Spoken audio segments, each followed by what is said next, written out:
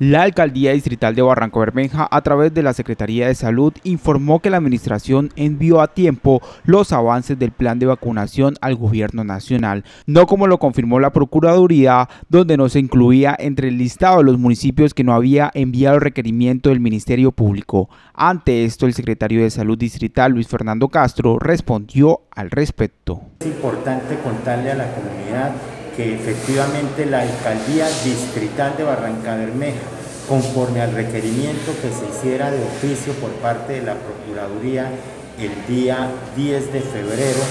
en el que se solicitaba un informe por plataforma de la Procuraduría en el cual indicara los avances del Plan Nacional de Vacunación. Barranca Bermeja realizó el cargo exitoso del informe el día jueves 11 de febrero ingresando al link de la Procuraduría mediante el código de identificación que no fue suministrado por el mismo organismo de control. Asimismo, el secretario de Salud afirmó que las vacunas que llegarán a Barranca Bermeja son las de Sinovac, que es la vacuna china, y la AstraZeneca, que es un biológico de Oxford. Pues nos confirma que para Barranca Bermeja viene el biológico del laboratorio AstraZeneca y de Sinovac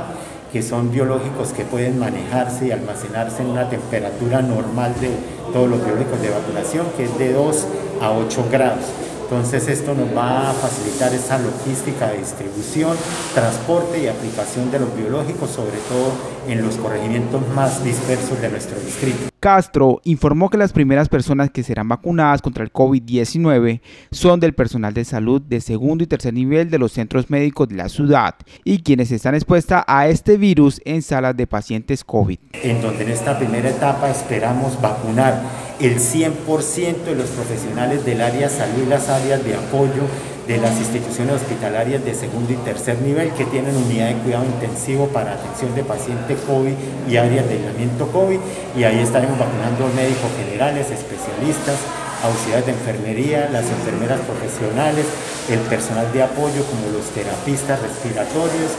personal de servicios generales, vigilancia y los administrativos de estas de atención de primera línea al COVID-19. Se espera que después del 27 de febrero estén llegando a Barranca Bermeja, así como lo anunció el gobernador de Santander, en el puerto petrolero estarán ocho puntos de vacunación para su respectiva aplicación del biológico.